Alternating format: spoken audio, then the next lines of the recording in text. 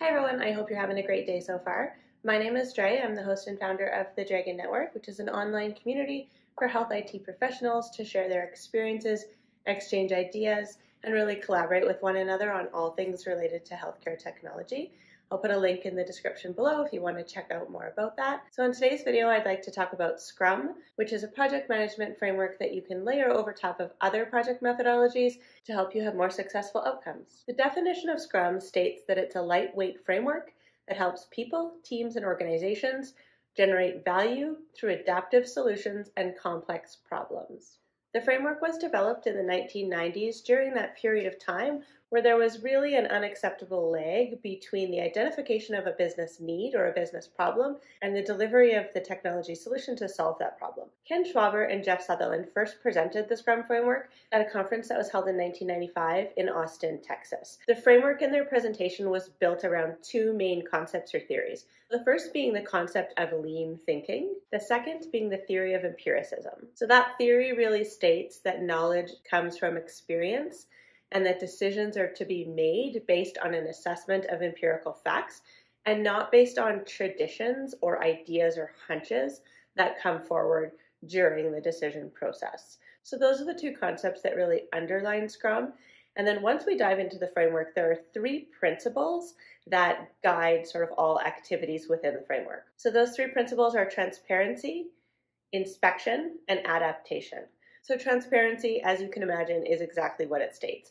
There needs to be transparent communication throughout the entire process, and that transparency is actually not only for the individuals that are working on the project, but for the individuals that are going to receive the end results of the project or the product that's being worked on.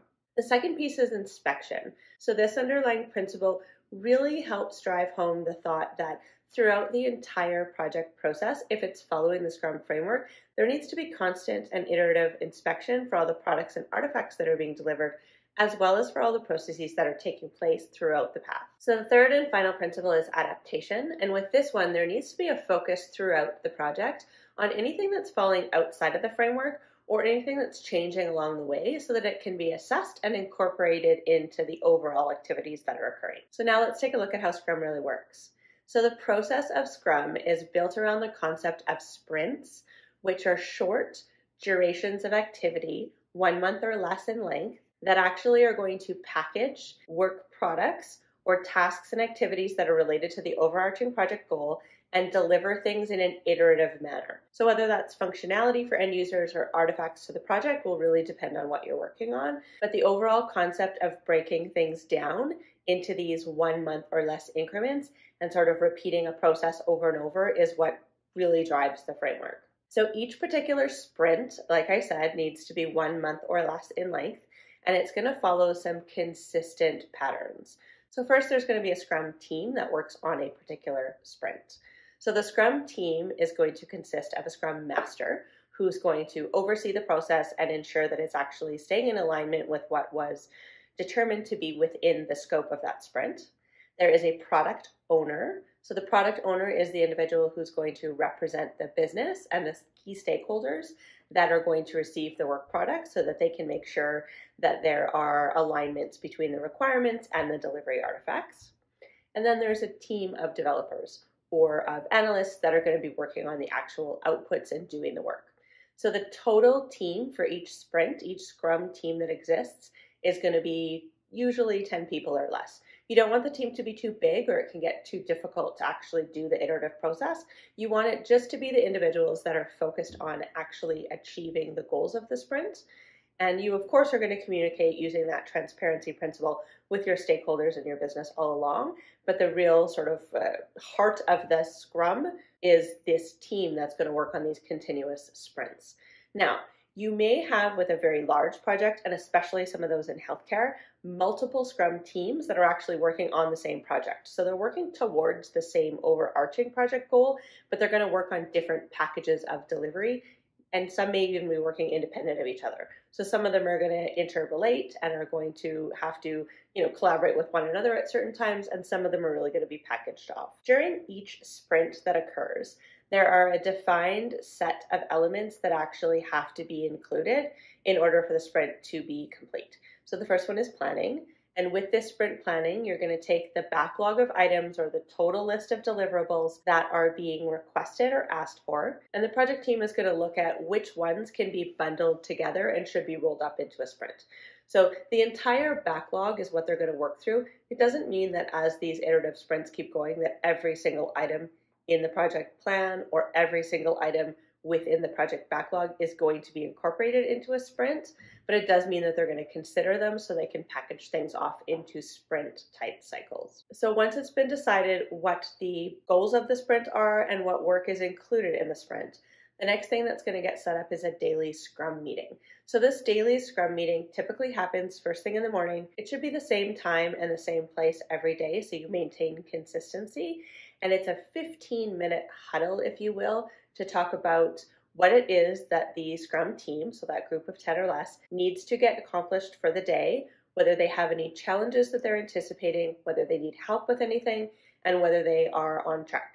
So it's a quick status update, a quick check-in to make sure you're going forward and that that transparency is maintained. So once most of the work is delivered and it's all packaged together, the next piece of the sprint cycle is going to be the sprint review. So that sprint review is really going to take a look at what the work product or the work artifact is to make sure it does in fact align with the goals, to assess whether or not it meets the needs of the stakeholders as they believed it was going to meet and whether it functions correctly.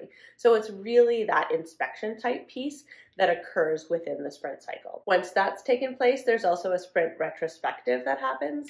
So this sprint retrospective is a quick look at the actual sprint cycle itself. And if there's anything that occurred within this particular sprint that could benefit from some tweaking or some adjustments to make things more efficient going forward.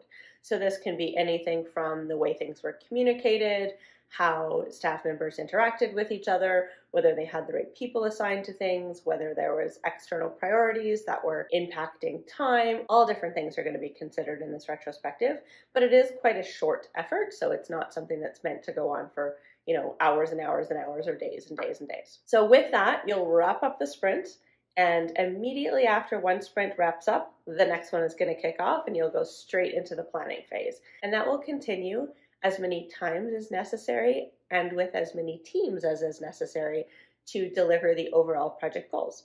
So again, this framework is meant to sort of layer onto your other project methodologies where you would deal with all your, you know, communication and stakeholder management, your project timelines, your work breakdown structures and things like that.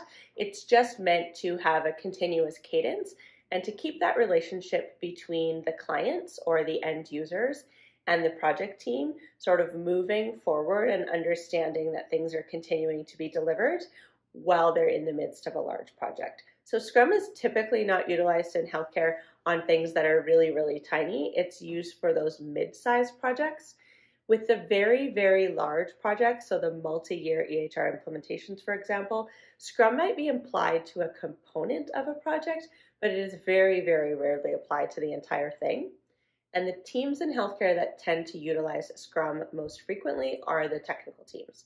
So they tend to respond quite well if there is a Scrum frameworks put in place. They like the independent working through the day and just to check in in the morning as opposed to being overwhelmed with meeting after meeting after meeting. The other time I've seen Scrum utilized, and it's really just portions of Scrum that get utilized here, is if you're in the middle of a major incident or you have a significant issue that's impacting one of your systems.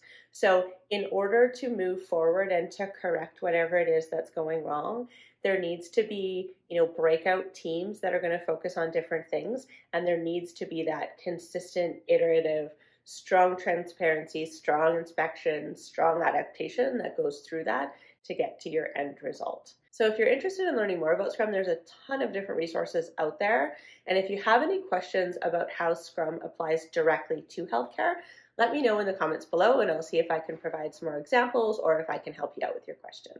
That's all I have for this week, and I will talk to you again soon. Have a great day.